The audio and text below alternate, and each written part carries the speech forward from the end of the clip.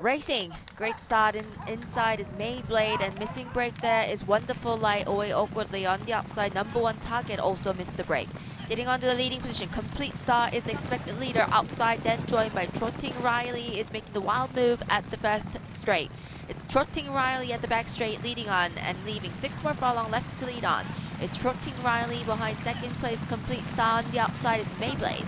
Three margins behind to follow up by River Teang and inside joined by its Conquered Spur who's positioning for fifth place.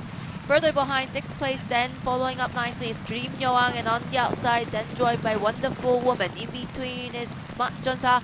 Five lengths behind two, it's Onchona on the outside, joined by Tough Guy.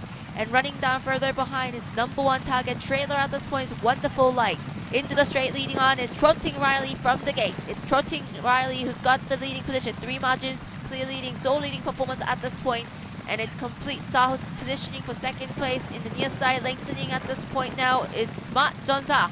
Smart Jonsa is becoming second place challenger as well as Dream Young inside but it's Smart Jonsa who's now chasing afterwards. Trotting Riley's got 100 meter left to race on. It's Trotting Riley defending on.